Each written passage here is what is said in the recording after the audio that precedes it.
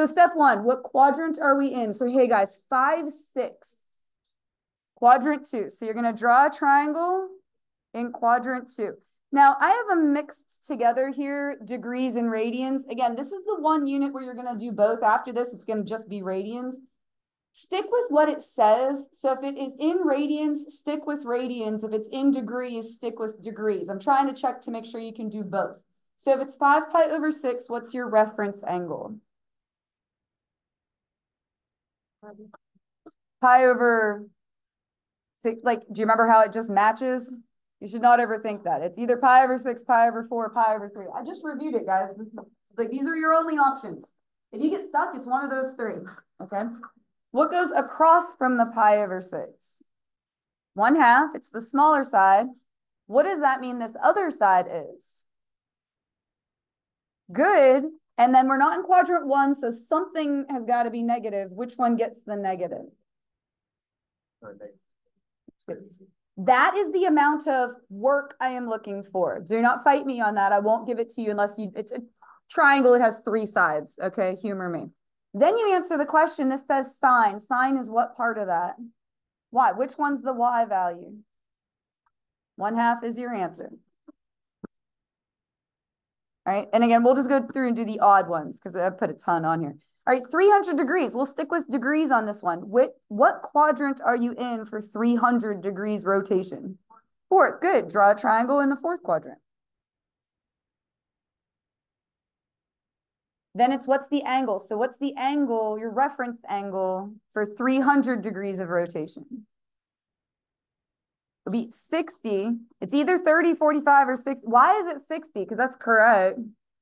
360 is the whole way around, right? 60 is the big angle. What goes across from 60? Square root of 3 over 2.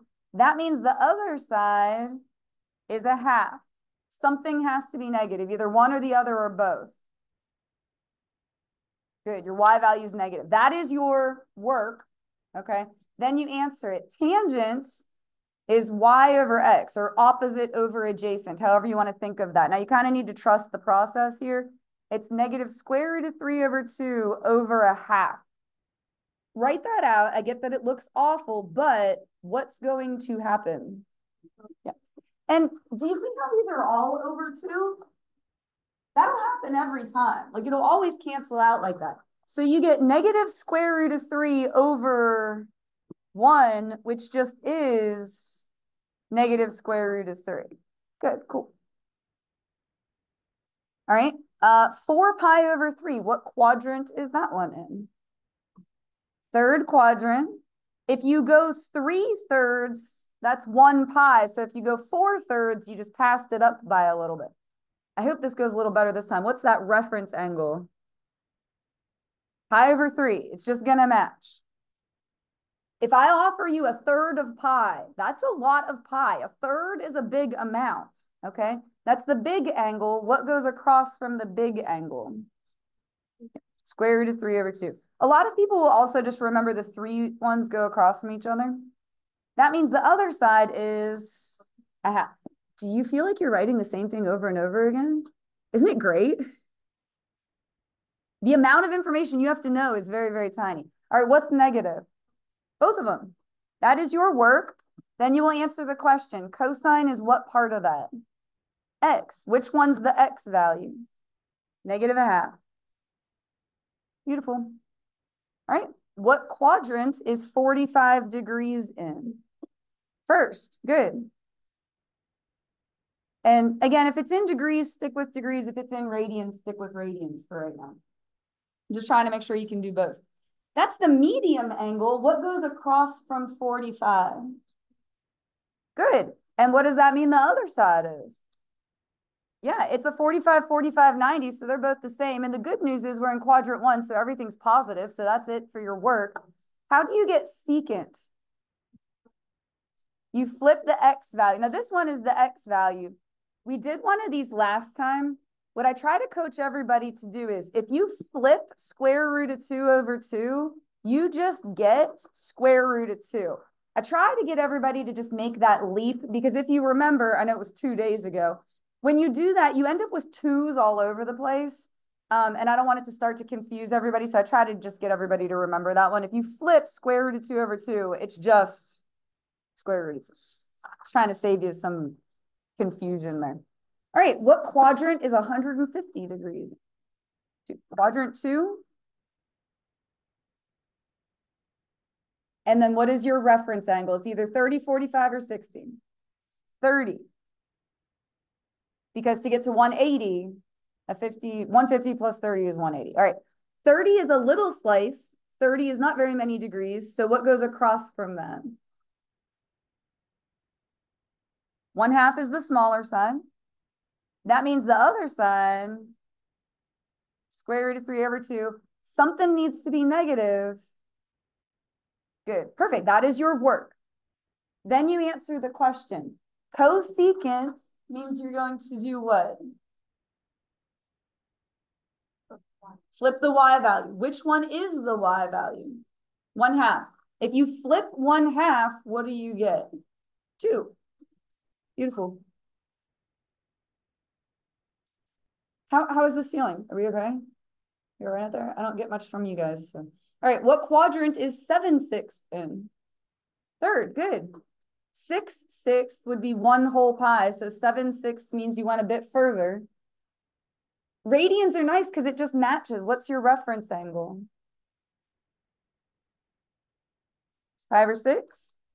A sixth is a tiny slice. So the small side goes across from that, which would be one half. That means the other side, square root of three over two. And then what? Both negative. Perfect. That's your work. Then you answer it. Tangent is what over what? Yeah, opposite over adjacent or y over x if you want to start thinking of it that way. It'll be negative a half over negative square root of 3 over 2. I get that that looks awful, but just kind of trust the process. What's going to cancel? Yeah, the 2's and the negatives, all right? So what are you left with? Okay, perfect. 1 over square root of 3. And then you rationalize that square root of 3 over 3. Good, cool. It's about as hard as I can make it. All right, 315, what quadrant would that be in? Fourth, because if you go 360, that's the whole way around. 315 is like you didn't quite make it. What's your reference angle? we are going to stick with degrees for this one. 45, perfect. What does that mean both of the sides are? Both square root of 2 over 2, but one of them is negative. Is it the x or the y? Y is negative. Good, this one. So that is what you need to write for full credit for your work. Then you answer it. Sine is which one of those? Yeah, the Y one, the negative one. After we finish this one, don't stop listening to me because I want to go, I want to see if you can identify the other ones that are going to be like this. 360 degrees is the whole way around. It's not going to create a triangle because you land on the axes. Do you remember what we draw instead for ones like these? Draw a circle. 360 would be right here. What is that coordinate point? One zero. So that is your work if it lands on the axes. Then we're going to answer that. How do you get secant? You're going to flip x, which is 1. 1 over 1 is one. So it's just one. I want to see if you can find on here any other ones that are going to be like that. One of the up, down, left, right, like compass point ones that land on the axes. Can you find another one on here that's like that? 10, let's go back and do 10. I want to find all the ones that are like those. For 10, draw a circle. Up, down, left, or right, where's pi? Left. Left, good. I'm directionally challenged, so. All right, what is that coordinate point? Yep, negative one, zero.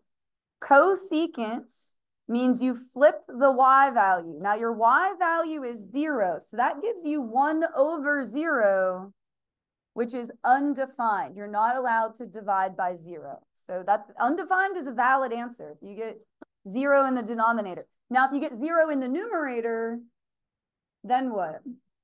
then it's just zero. All right, do you see another one like that? That's going to be a circle. All right, 14, draw a circle. Up, down, left, or right, where's pi over two? Up, good. And that coordinate is zero, one. And then we're going to do cotangent. So look up there. I have it there for right now. Cotangent is what over what? Good. So that would be 0 over 1, which is just 0.